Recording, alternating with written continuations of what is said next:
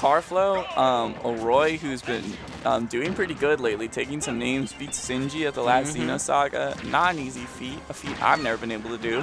So good job from uh, Karflo. Um, but yeah, a really solid Troy player, mostly Roy, but here we're seeing they're opting to use Chrom, and they're also dead. Oh, all right. Let's go. Let's go, Yeah. Kirby. I, I was gonna elaborate and say I believe they're opting to use Chrom because Kirby, they're dead. I, I can't get a sentence out. Um, yeah. Vinlik or Vinulik is like literally just waiting. That's all they have to do. That's literally so crazy. Just look at this. And that's kind of the unfortunate thing about like Chrom that makes them a little bit worse than Roy is that recovery and it's just so hard to actually get back from that and wow very I think Roy was also dead there though from that inhale. well, yeah that's true but you can also mash out of it Yeah, I don't. I think Karflo was a bit of in a state of shock. I want to say, or That's maybe they thought um, they were gonna get spat out because it was zero percent. Um, Mm. but Vinlik just holding that. Um, and so yeah, what I wanted to say before Karflo died twice uh, in very quick succession was that um, oh please don't die. Oh, Okay. well that actually made it a lot easier for them to recover but either way Oh.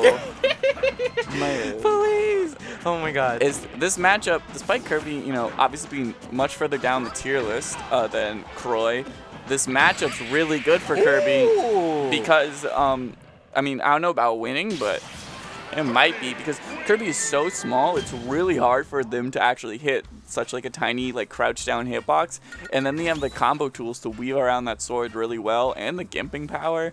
It, it's really tough for them to like get the normal stuff on this pink pink ball. So yeah, look at that. Down to Karflo's Doom, and that's a. This could be a really good win for Vinley. Um, I mean, period.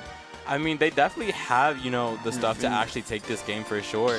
Um, a little bit of, you know, ooh, ooh, just un, you know, n- not too good stuff right there. Actually dying to the side B, or to up B, sorry. But I think what they were trying to do was actually grab Chrom, and it, let's be completely honest. I want to see it happen where somebody grabs Chrom in the middle of their up B. It has to happen. I would like it to happen. I would. We would like to is see that it. possible? It's possible. Um, it, with every character, you're actually able to just grab Chrom as they're rising up. Oh, it's I just see. when they're going down is the issue. Just uh, some things y'all don't y'all need to know about because I don't know y'all need to do it in bracket. Tweet it at me. Y'all already know what my Twitter is Jazzy with three Z's. Germosen. Period. Just send it to us so that we can we can be happy. We can thrive. Also, so the start going a lot less bad for Karflo as it did last game. Almost got to to death, but now bounced back and Kirby's at 74 Period. and he's dead. I mean, it's kind of just one of those things where you know, like when um, they're you know kind of just trying to be on the ground.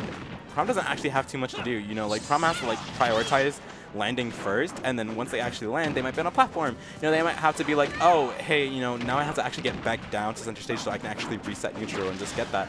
And you know, Kirby is just kind of one of those characters where like they make you scared. And speaking of being scared, they just got No back fear air. right there. Absolutely, Yeah. no fear whatsoever. That was, Mhm. yeah, really brave. I don't think um, Kirby, a Kirby player would ever really expect someone to go down like that, especially as Chrom. But really good stuff, and this this can be evened up real quick. We just need to get slapped around a bunch. Mhm, Like right now, 55%, just a little bit more. Or maybe not, I don't know. Just need, they I think when it comes to Kirby, you have to be like really good at actually, you know, weaving around what your opponent can actually do. Like with that down tilt right there, you have to be consistently on your air game because if you're not, then like it kind of just ends up in situations where it's just like you're taking way too much damage, you're not really playing neutral, and you want to be in situations like this where you're actually taking a stock and you're only at 65%. This is definitely could be, you know, the start to where we actually see, um, you know, um, Vinylic uh, actually take the game over here. Oh, Ooh, very nice. I don't know how many jumps left. Okay, at least one. Oh, and good reactions on that um, air dodge in right there. Covers a lot if you just do run up down tilt. Ooh. Oh no. Oh no. That's gotta be really frustrating for Karflo, especially because he's been playing so good lately. To start off as Xeno Run losing like that. That being said, I think he uh, lost round one at last Xeno, and then Mhm. made a climb back all the way to like 13th or something. So you know, not not all hope is lost for Karflo, but that's gotta be really frustrating. I know that's the matchup. I'm sure he does not like playing. Edge.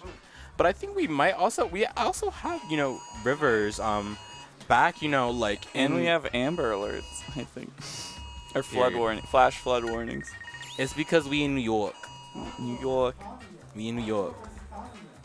Y'all can't. Y'all gotta be careful. I don't know. See, it's the thing. Like, I think I think when there was that like one really bad storm, and like you saw people like going into the subways with like garbage bags Mhm. on them, I'm just like, stop, because I would never be caught dead in a situation like that. No, thank you. I went to the